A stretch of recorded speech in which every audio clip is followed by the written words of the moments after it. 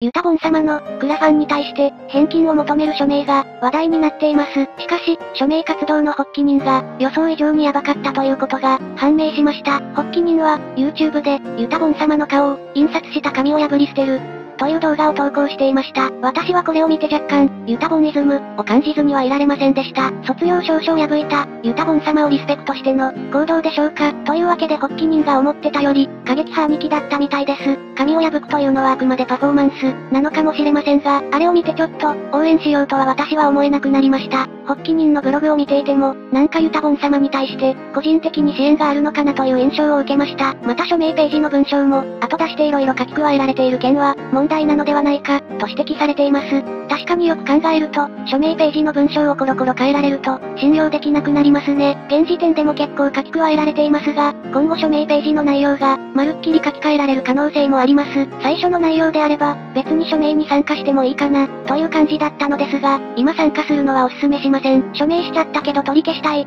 という場合は、署名した際に送られてきたメールから、キャンセルが可能です。メールを紛失した場合は、サポートに問い合わせれば、対応してくれる場合もあるようです。っていうか、通、署名ページの文章って、後で変更できないようにしておくのが、正しいんじゃないでしょうか。追記できるにしても、追記したのがどの部分の文章なのか、後でわかるようにするとかさ。ちなみに YouTube コミュニティのアンケートは、後で文章を変更できないようになっています。署名ページもそうするべきだと思いました。ユタボン様のおかげで、署名サイトのあり方に、一石が投じられる結果となりました。さすがは少年革命家です。多分これも彼の計算のうちなのでしょう。天才かな。ユタボン様が炎上するのは、別に日常茶飯事なのですが、彼に関する署名活動まで、若干炎上してしまうという、関わるもの全てを、燃やしていくスタイル。これもう、実質イフリートだろ。最近、例のやべえやつに関して、動画で取り上げています。そのせいか、ユタボン様の動画を見ていると、若干イラッとすることはあるものの、以前ほどイラッとしなくなりました。例のやべえやつに比べると、ユタボン様なんて全然普通に見えます。頭おかしなるで、ちなみにユタボン様の、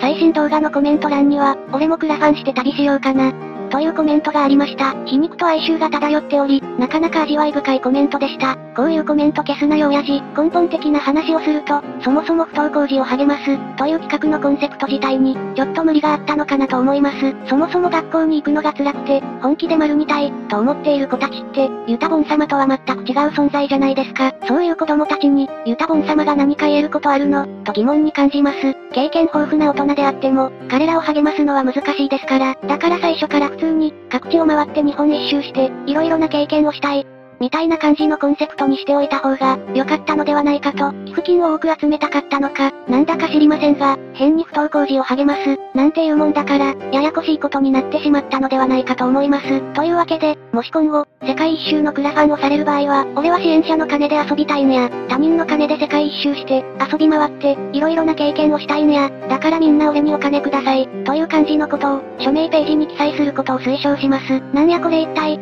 と思う人もいるかもしれませんが、まあでもクラファンって、そういうもんですから別にいいんじゃないでしょうか。支援金が集まるかは知らんけど、最後までご視聴ありがとうございました。